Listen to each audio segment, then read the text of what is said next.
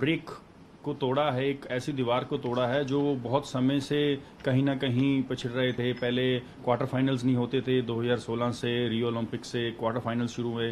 Quarter final में पहुँचे, वहाँ से सेमीफाइनल में जगह नहीं बना पाए। इस बार सेमीफाइनल में पहुंचकर हार का सामना भी करना पड़ा, लेकिन फिर भी मैं कहता हूँ बाउंस बैक बहुत अच्छा किया। जर्मनी जैसी टीम जिसका हॉकी में ये बोल बोला है कि वो एक गोल को भी डिफेंड करती है तो ऐसी टीम को फाइव फोर से पिछाड़ना और तीन एक की अब देखें पहले क्वार्टर में एक zero then one one draw then two one से जर्मनी का आगे होना, फिर थ्री वन से जर्मनी का आगे होना, फिर थ्री टू फिर three three then four three then four five three फिर उसके बाद फाइव फोर के ऊपर फाइनल स्कोर पर इंडिया के फेवर में ये मैच जाना, ये बहुत बड़ी बात है। आप देखिए कि नौ गोल इस मैच में हुए हैं और नो गोल का ये कह सकते हैं कि कितने हार्ट ब्रेक और कितने हार्ट जो है वो हार्ट बीट जो अप एंड डाउन हुई होगी।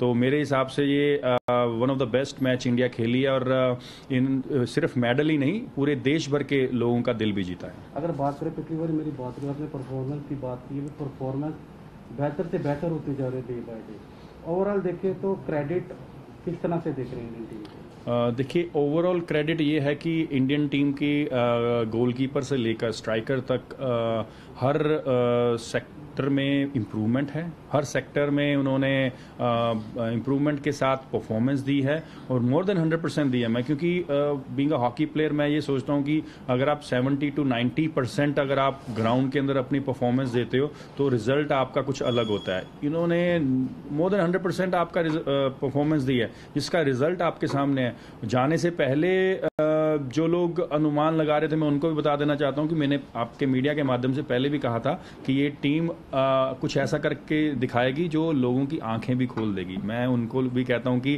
प्लीज़ स्पोर्ट्समैन की सपोर्ट करें क्योंकि खिलाड़ी जल्दी से नहीं बनता। बहुत साल लग जाते हैं खिलाड़ियों को बनने के लिए और खिलाड़ियों को मेडल लाने के लिए। हॉकी का भविष्य सर अब ब्राइट है किस तरह से बहुत बहुत ब्राइट है हॉकी का फ्यूचर और अब सिर्फ़ आगे ही देखना है हॉकी ने। और मैं दुआ भी करता हूँ विश भी करता हूँ जो यंगस्टर्स आएँगे, इससे भी बड़े मेडल लेकर आए। और इंडियन हॉकी ने दोबारा अपना जो खाता है वो खोल लिया है मेडल लिस्ट में, क्योंकि कॉमनवेल्थ गेम्स और एशियन गेम्स में तो हम मेडल ले ही रहे थे। ओलंपिक्स में हमारा काफ़ी समय से ब्रेक लगी हुई थी तो आज वो ब्रेक टूटी है। अब ब्रेक टूटने के बाद अब और आगे मेडल